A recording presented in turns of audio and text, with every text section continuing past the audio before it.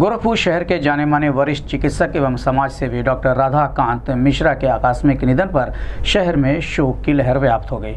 लंबी बीमारी से जूझ रहे वरिष्ठ चिकित्सक डॉक्टर राधाकांत मिश्रा का बुधवार को इक्यासी वर्ष की अवस्था में मृत्यु हो गई। वरिष्ठ चिकित्सक एवं समाज सेवी डॉक्टर राधाकांत मिश्र के पुत्र चिकित्सक राजेश्वर कांत मिश्र ने बताया कि डॉक्टर राधाकांत मिश्र लंबे समय से बीमार चल रहे थे, जिनकी मृत्यु इक्यासी वर्ष की अवस्था में बुधवार प्रातः काल हुई। चिकित्सक एवं समाज सेवी डॉक्टर राधाकांत मिश्र चिकित्सा सेवा के साथ साथ समाज सेवा में भी बढ़ चढ़कर सहयोग करते रहे। उनकी मृत्यु से चिकित्सा जगत में एक बड़ी क्षति हुई है।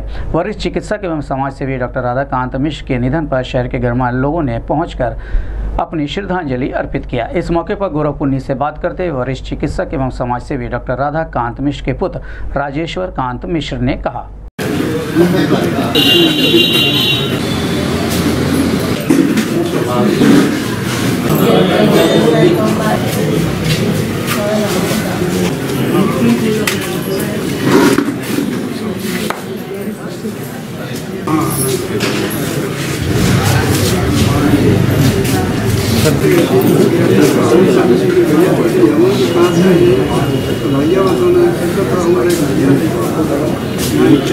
डॉक्टर रामकृष्ण चंद्र मिश्र नाम था इनका। 1932 में इनका जन्म हुआ था, सत्तासी वर्ष के करीब थे ये।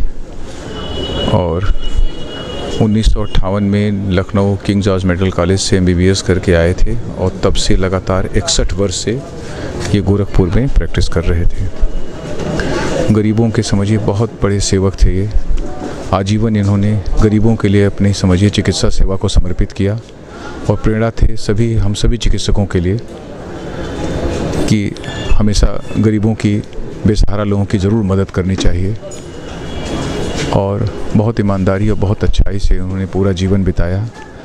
इसके साथ इन्होंने संयुक्त परिवार की भी परंपरा को भी जीवित रखा और इसके बहुत बड़े प्रचारक और प्रसारक थे कि इंसान अगर परिवार के स्तर पे एक नहीं हो सकता है तो देश के स्तर पे एकता की बात वो नहीं कर सकता है। तो सबसे पहले परिवार के स्तर पे एक हों, तभी आप पूरे देश की एकता की बात कर सकते हैं। इस सिद्धांत के भी बहुत बड़े प्रसारक थे ये। हम सभी लोगों की इनको श्रद्धांजलि। पूरे गोरखपुर की जनता, सभी लोग इनके इस आकस्मिक निधन से बहुत दुखी है। हम उन सारी जनता के प्यार के लिए, उस जनता ने जो भी इनको आज तक सम्मान दिया, उस सब के लिए हम सब लोग बहुत अनुग्रहित हैं, आभारी हैं। और पूरी जनता को हमारा नमस्कार। धन्यवाद।